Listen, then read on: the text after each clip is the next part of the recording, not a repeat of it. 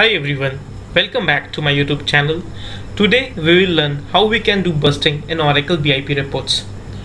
So to start, we'll understand first what a bursting is.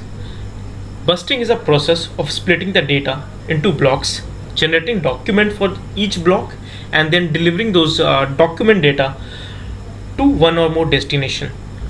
So what we are doing, we are actually dividing our data into different segments generating document out of it and then sending it to the destination. Here the delivery channel can be uh, either email can be fax can be file etc so this is the basic definition of bursting. Uh, now I'll show you how it is done. And uh, so for this we'll create a data model and then a report of out of it. And after that uh, I'll show how bursting is done and how we send the uh, report or our output to the different destinations. So uh, I'll begin with creating the data model. By the way I have made a detailed video of how to create a, a report in Oracle BIP uh, I'll share the link. Uh, please check that out. So here name I'm giving as bursting report. I can give whatever I want. So I'll just write my extraction query first. So we'll be extracting supplier information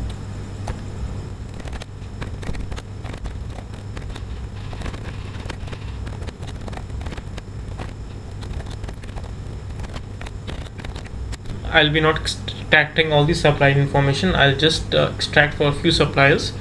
Uh, here in the where condition we can also pass parameter uh, but in the interest of time and the interest of the topic I'll keep it simple. I'll be hard coding the values here. So I'll be actually sharing this uh, extract query in the description. You can check this check that out. So here I'm extracting the uh, supply information and I've passed uh, in the the supplier numbers in the uh, where clause so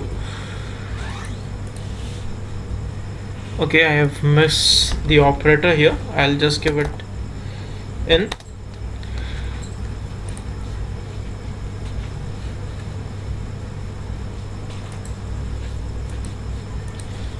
So we'll view our data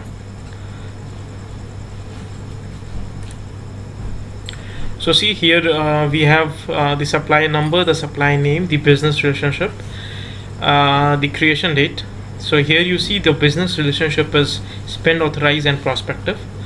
Uh, so we'll be actually uh, dividing our data into block based on the business relationship. I'll show that how it is done but before that I'll just create the uh, report out of it. So just click on save as sample data. I'll just save this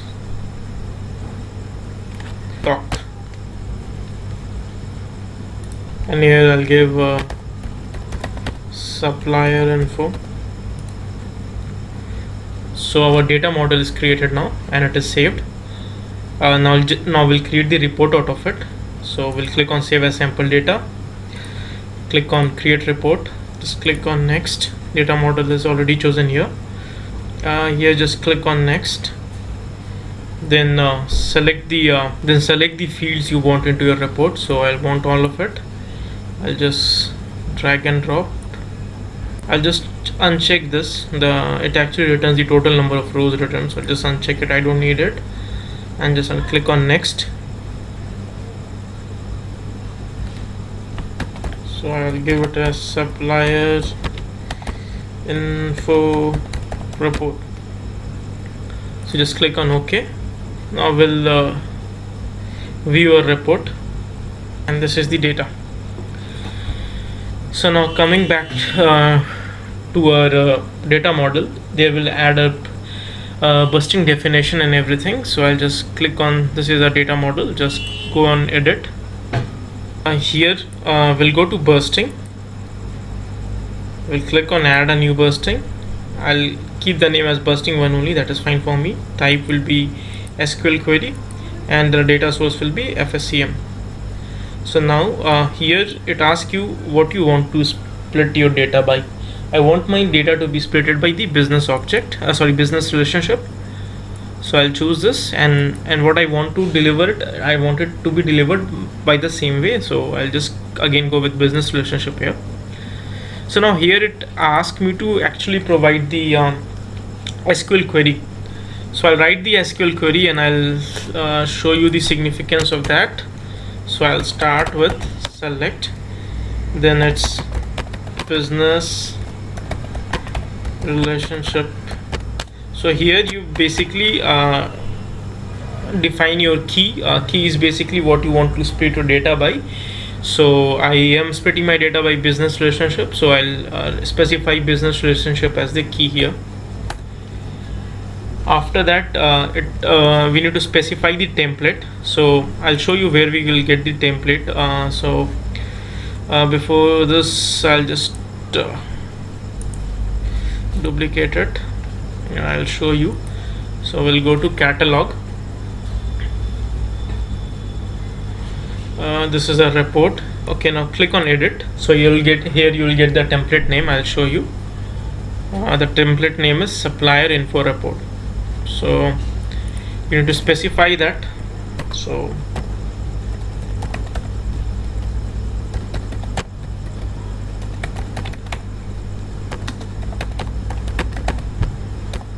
uh, then you need to specify the language. Uh, so uh, will be uh, language would be English here. So I'll just give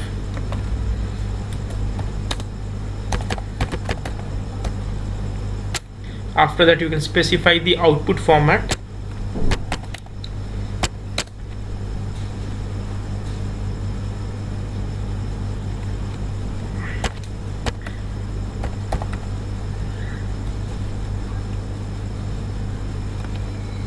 Now we want to uh, share this information via email so I'll give the delivery channel to be email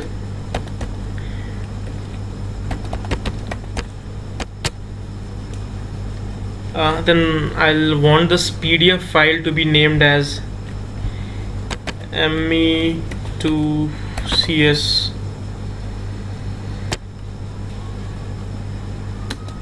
so this will be your output name. Uh, we can act and after this uh, we'll define all the parameters which will be used in uh, our writing the email part that is the from uh, to uh, subject body uh, all those things. Uh, actually we can uh, get all the information uh, what to be added in bursting here. So it actually this a document completely defines you. So here you see I'll just show you. So here you specify the template key template locale output format if you want to save the output you can specify that also. You can specify the delivery channels. See we have different delivery channels here. Then you can also specify the time zone calendar to be followed output name and then uh, you have parameters. So parameters actually varies for email printer fax web. There are different different parameters. Uh, so coming back I'll the first parameter is the first parameter is email so email address. So I'll uh, give uh,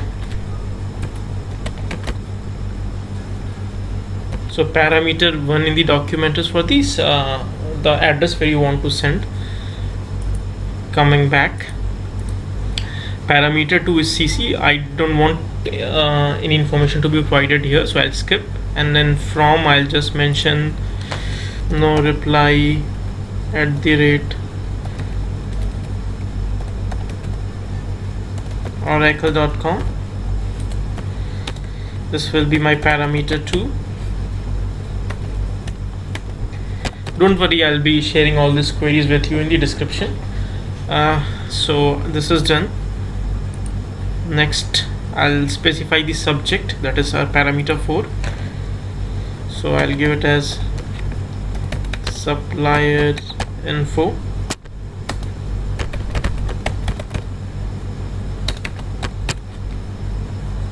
Then message body is uh, parameter 5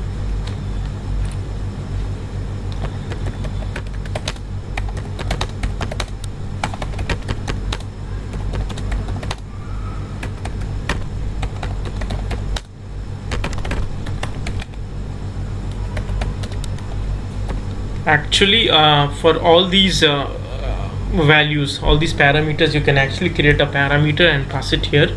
I have made a separate video where you can find how to create a parameters. Uh, that will be I'll be sharing that link here. Uh, in the description please check that out. So you will understand how parameters are created in BIP report there. So this is the and parameter 6 is attachment value. So we are sending a PDF here so our attachment value would be true because we want that PDF to be present.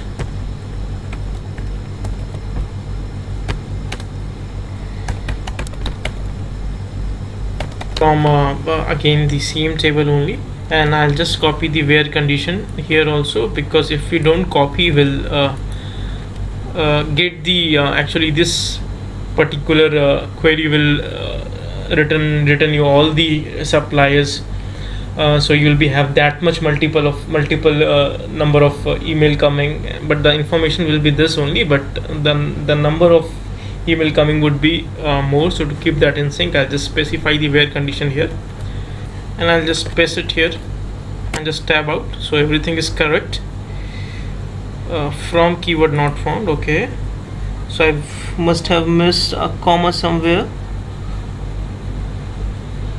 Yeah not a comma I just gave a space here so I'll just remove this. So I'll just tab out. Now see. Invalid. Okay again here also in is left. Sorry. I just correct it here otherwise I'll uh, miss it while giving it in the description so. I'll just not tab out so and now just save it.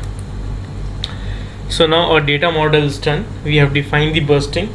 Uh, we have defined the bursting query uh, so the the next job is creating the ESS job. If we don't create the ESS job for it and if we try to do the bursting from the report the process will be successful but you won't be getting any email.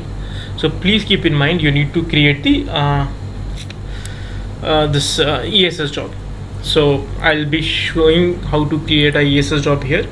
However I'll make a detailed video of creating an ESS job where we would be passing uh, parameters and all those things it would be a simple ESS job because we are not using any parameters here. So for that just go to setup and maintenance. Go to search. Here just search with managed percentage scheduler percentage. Now come to uh, supply chain management because supplier falls under supply chain management supply chain management uh, now here uh, just to create a ESS job click on the create option. So here uh, in here actually you can give spaces. But in the name uh, it's mandatory to you cannot give space here. So for path you just need to give Oracle apps ESS custom which you need to keep your ESS jobs your custom ESS job in application I'll give uh, supplier model. Description I'll give send supplier info by bursting. So now here uh, in job application again uh, FSCM job type will be BIP job type. And here uh, you need to check this box that is the bursting report. If you don't do this bursting will not happen. Here output format can you can give. I'll just go with PDF or you cannot give. That is fine. I'll now come to report ID so report ID so what you have to populate for this just go to your catalog. Here if you go here and go to schedule okay. Here also uh, you'll find the uh, exact report name so you have to file that in the, you have to provide that in the uh, your uh, report id so i'll just paste it here. Now just click on save and close. Our ess job is created. Click on done. Now go to uh, go to tools go to schedule process and just schedule the uh, process. So now go to uh, now go to schedule new process here you need to search for your ESS job. So this was our ESS job. Click on OK. Supplier info 2250 send supply info by bursting so this was the description we gave. Just click on ok. Here uh, click on submit. So our uh, process id is 936126 click on ok so process started. Uh, this is the mail id here now we don't have any mail. Uh, let's see.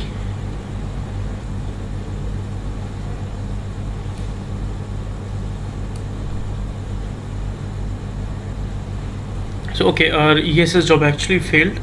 Uh, the reason for it is uh, so instead of uh, .com we have provided the wrong so I'll just correct it here I'll quickly go to my this. I'll just make it dot .com.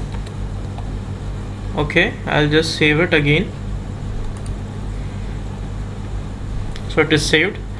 So our first ESS job failed. We'll try the second one now. Uh, same. Yeah okay. Submit. So now our process id is 130 just click on ok we'll refresh. Again it is showing some error it says we missed the from from is there.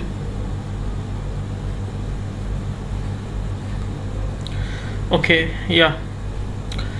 One another blunder we did. Uh, actually uh, from would be parameter 3 I'll just show you here. And we have given parameter 2 so I'll just make it parameter 3 and I'll do the same here in our report also in our uh, data model. Uh, the bursting SQL query just again save it. It happens sometimes. People do mistakes. So we'll submit the ESS job again. Uh, we'll see 131 so these kinds of mistakes actually people do. So now it is C succeeded. I'll just click on here and I'll just go and see whether we have received the mail or not. Yeah.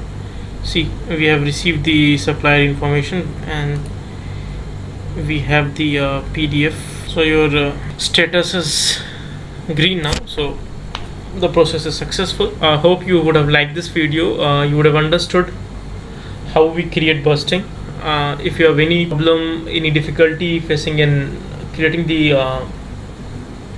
bursting out of our BIP report uh, just feel free to comment. I'll be sharing the uh, uh, the query which I've used in the description. Take care. Thank you